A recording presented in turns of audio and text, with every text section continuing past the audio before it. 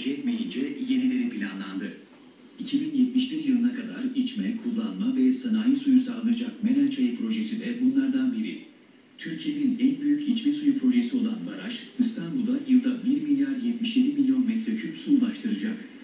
Ancak havzanın geniş olması sebebiyle Sakarya'daki bazı köyler su altında kalacak.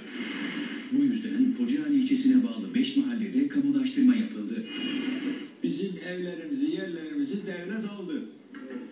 Parasını da ödedi. E, Burada terk edeceğiz buraları artık yani başımızın çaresine bakacağız. Tebligat yapılan köylüler evlerini boşaltmaya başladı. Dışarıda duranlar için biraz kolay gelebilir ama yaşayanlar için zor. Bir komşumuz giderken başlıyoruz ağlama. Herkes birbirine